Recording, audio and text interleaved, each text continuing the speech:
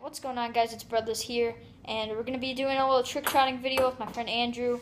Uh, so we're going to be using these ping pong balls, and we're going to be trying a trick shot, so I hope you guys enjoy. That was a cool little trick shot my friend Andrew just did there. Enjoy the video, like, comment, subscribe.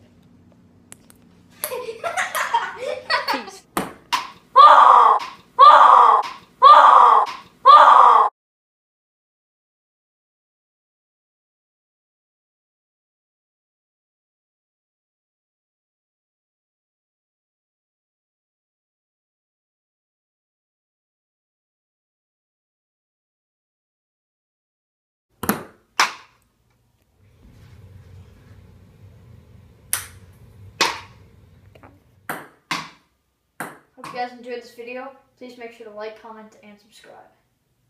If you guys enjoyed that little trick shotting video I did with Andrew. It was a lot of fun. Uh, I might do some collabs with him later.